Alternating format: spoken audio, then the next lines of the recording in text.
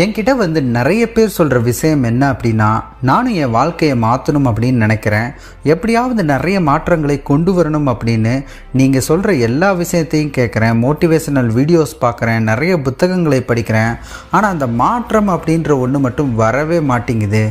ஏன் எனக்கு இப்படி நடக்குது? என்னால் என் வாழ்க்கையில் முன்னேற முடியல அப்படின்னு நொந்து போய் நிறைய பேர் ஃபீல் பண்ணுறாங்க இப்படி நீங்களும் வாழ்க்கையில் மாற்றத்தை கொண்டு வரணும் அப்படின்னு நினச்சி இன்னைக்கு தேதி வரை கொண்டு வர முடியாமல் தவிக்கிறீங்களா? அப்போ உங்களுக்கான புத்தகம் தான் இது. இந்த புத்தகத்துடைய பெயர் ஸ்விட்ச் இந்த ஒரு சுவிட்ச் போட்டால் போதும் நம்ம வாழ்க்கையே மாறிடும். இருட்டில் இருக்கிற நாம் வெளிச்சத்துக்கு வந்துடலாம். அது எப்படி அப்படின்னு நாம் இப்போ பார்க்கலாம். அதுக்கு முன்னாடி நம்ம சேனலை இன்னும் சப்ஸ்கிரைப் பண்ணாமல் நீங்கள் பார்த்துட்டு இருந்தால் சப்ஸ்கிரைப் பண்ணிவிட்டு இந்த வீடியோவை கண்டினியூ பண்ணுங்கள் சும்மா ஒரு கற்பனை பண்ணுங்க. ஒரு ரோட்டில் ஒரு யானையை யானை பாகன் ஓட்டிட்டு போகிறாரு பாகன் என்ன சொல்கிறாரோ கேட்டுட்டு யானை அந்த வழியிலேயே போயிட்டுருக்கு. திடீர்னு அந்த யானைக்கு தான் போகிற பாதை பிடிக்காம வேறொரு பாதையில் போக ஆரம்பிக்குது. அந்த யானை பாகன் இதை அடக்க முயற்சி பண்ணியும் அந்த யானை அடங்காமல் வேற பாதையில் போயிட்டு இருந்தது இந்த நிலையில் நீங்கள் என்ன நினைக்கிறீங்க? அந்த பாகனால் இந்த யானையை கண்ட்ரோல் பண்ண முடியுமா? கண்டிப்பாக முடியாது. ஏன்னா யானை அந்த பாகனை விட ரொம்ப வலிமையானது. அது போகிற பாதையில் தான் அந்த பாகனம் போயாகணும். இதே போல தான் நம்மளுடைய வாழ்க்கையிலையும் இந்த யானை அப்படின்றது நம்மளுடைய எமோஷ்னல் சைடு இந்த பாகன் தான் நம்மளோட லாஜிக்கல் சைடு இந்த பாதை அப்படின்றது தான் நம்ம எதை மாற்றிக்க நினைக்கிறோமோ அந்த பழக்கம்.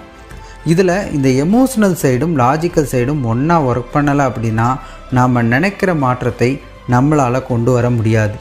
ஒரு உதாரணமாக காலையில் சீக்கிரமாக எழுந்திரிச்சு ஜாகிங் போகணும் அப்படின்னு நீங்கள் நினைக்கிறீங்க. இது உங்கள் லாஜிக்கல் சைடு திங்கிங் நீங்கள் நல்லா இருக்கணும் அப்படின்னு தான் அது நினைக்குது. உங்கள் எமோஷ்னல் சைடு என்ன சொல்லும் அப்படின்னா அலாரம் அடிக்கிறப்ப இப்போ உடனே எழுந்திரிச்சு என்னத்தை பண்ண போகிறோம் இப்போ தூங்குறதுக்கு ரொம்ப நல்லா இருக்குல்ல? இந்த பெட்டில் தூங்கினா இன்னும் நல்லா இருக்கும்ல? அப்படின்னு அதை இதைன்னு சொல்லி உங்களை நல்லா தூங்க வச்சிரும். ஏன்னா உங்கள் எமோஷ்னல் சைடு ரொம்பவே ஸ்ட்ராங் அதை நீங்கள் முந்தி வரணும் அப்படின்னா லாஜிக்கல் சைடு இன்னும் வலிமையாக்கணும் இல்லைன்னா எமோஷ்னல் சைடை ஏமாற்ற கற்றுக்கணும் அது எப்படி பண்ணுறது அப்படின்றத பற்றி இந்த புத்தகத்தில் தெளிவாக சொல்லியிருக்காங்க. இந்த பலம் வாய்ந்த யானையை உங்கள் கண்ட்ரோலில் கொண்டு வரணும் அப்படின்னா அதுக்கு ரொம்ப ஈஸியான வேலைகளை கொடுங்க. இந்த யானைக்கு கஷ்டம் அப்படின்னாலே பிடிக்காது. ரொம்ப ஈஸியாக எந்த வேலை இருக்கும் ரொம்ப சுலபமாக எந்த வேலையை பண்ண முடியுமோ அதைத்தான் தேடி தேடி போய் பண்ணும். பிரச்சனைகள் அப்படின்னாலே அதுக்கு பிடிக்கவே பிடிக்காது. இப்போ ஒரு உதாரணமாக நீங்கள் கடுமையாக உடற்பயிற்சி செய்யணும் அப்படின்னா அது எல்லாத்தையும் ஒரே நாளில் செய்ய முயற்சி செய்யாதீங்க.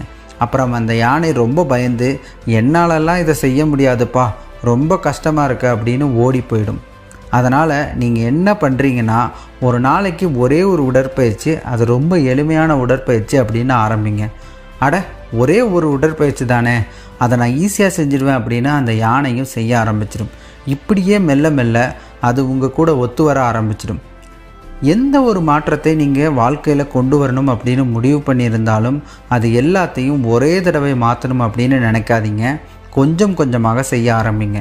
இப்படி கொஞ்சம் கொஞ்சமாக செய்யும் பொழுது கொஞ்ச நாள் கழித்து அதை இன்னும் கொஞ்சம் அதிகமாக்குங்க.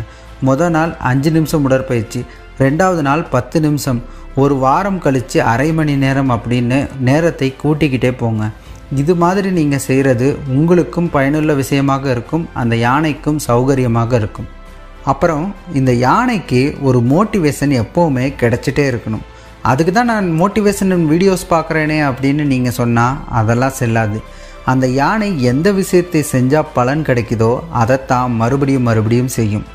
எனக்கு நடந்த விஷயத்தை நான் உங்களுக்கு உதாரணமாக சொல்கிறேன் தொடர்ந்து ஒரு நாள் விட்டு ஒரு நாள் வீடியோ போட்டால் நல்லா வியூஸ் போகும் அப்படின்னு நினச்சிக்கிட்டு தொடர்ந்து வீடியோ போடுவேன். ஆனால் திடீர்னு வியூஸ் போகாது. அப்போ எனக்கு என்ன தோணும் அப்படின்னா இதனால் ஒரு பயனும் இல்லை.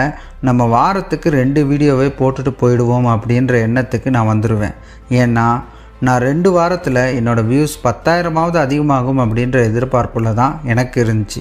அதுக்கு பதிலாக நான் தொடர்ந்து வீடியோ போட்டால் ஒவ்வொரு வீடியோக்கும் ஆயிரம் வியூஸ் ஆவது அதிகமாகும். என்னை பற்றி நிறைய பேர் பேசுவாங்க கமெண்ட்டில் அப்படின்னு எதிர்பார்த்துருந்தா அந்த யானையும் சந்தோஷப்பட்டிருக்கும் அது உண்மையாகவும் நடந்திருக்கும். அந்த யானையும் நாம் செய்கிற விஷயத்துக்கெல்லாம் பலன் கிடைக்குது பரவாயில்ல நம்ம தொடர்ந்து செய்வோம் அப்படின்னு சொல்லி செய்ய ஆரம்பிச்சிடும். இந்த யானைக்கு கஷ்டமான விஷயங்கள் அப்படின்னாலே பிடிக்கவே பிடிக்காது இல்லையா? அதுக்கிட்ட போயிட்டு நீ டயட்டை ஃபாலோ பண்ணணும். ஒன்லி காய்கறிகளை மட்டும்தான் சாப்பிடணும். இந்தெந்த மாதிரியான உணவுகளை தொடவே கூடாது அப்படின்னு சொன்னால் அது உடனே ரொம்ப கஷ்டமாக ஃபீல் பண்ண ஆரம்பிச்சிடும்.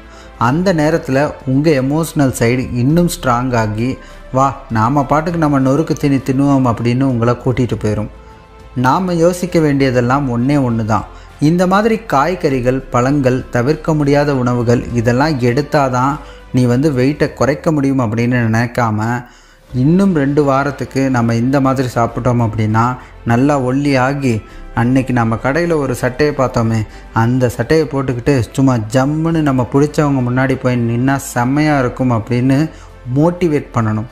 நீங்கள் யானை போகிற பாதையில் முட்களோ கற்களோ தடைகளோ இருந்தால் அந்த யானையால் அந்த பாதையை கடக்க முடியுமா? முடியாதில்ல. அதனால் அந்த பாதையை ரொம்ப க்ளீனாக வச்சுக்கோங்க. நீங்கள் நிறைய இலக்குகளை வைத்து உங்களை நீங்களே குழப்பிக்கக்கூடாது அந்த பாதை ரொம்ப தெளிவாக இருக்கணும்.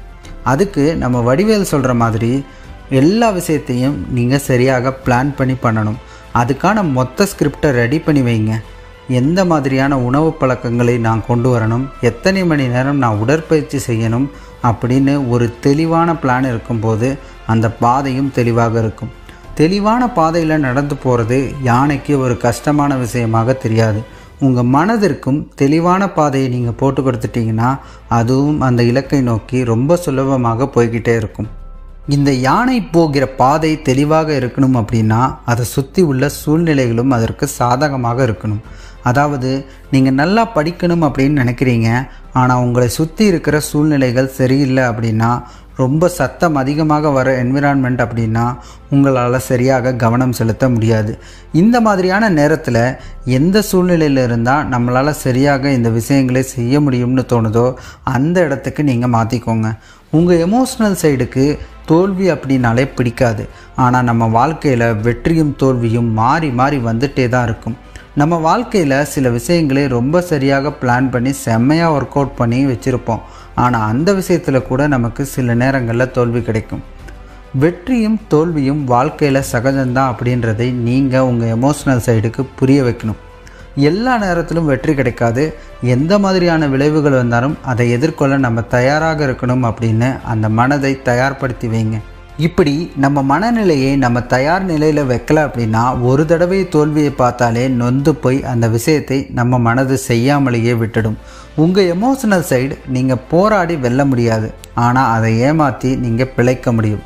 அதனால் அதை எப்படியாச்சும் ஏமாற்றி உங்களுக்கு தேவையான விஷயங்களை செய்ய பாருங்கள் நம்மள நிறைய பேர் நம்ம வாழ்க்கையில் எப்படியாவது ஒரு மாற்றத்தை கொண்டு வரணும் அப்படின்னு விரும்புவோம். ஆனால் அந்த விருப்பத்தை நிறைவேற்ற நிறைய விஷயங்களை செய்யணும். அது ரொம்பவே கஷ்டமாக இருக்குது அப்படின்றப்ப கொஞ்சம் விலகி நிற்போம். அதனால் கஷ்டமான விஷயத்தை கூட எப்படி உங்களுக்கு ஏற்ற மாதிரி சுலபமாக பண்ணுறது அப்படின்னு கண்டுபிடிங்க. இந்த புத்தகத்தில் இன்னும் நிறைய விஷயங்களே சொல்லியிருக்காங்க. பட் இருந்தாலும் ஆத்தர் சொன்ன சில விஷயங்களை நான் உங்ககிட்ட சொல்லியிருக்கேன்.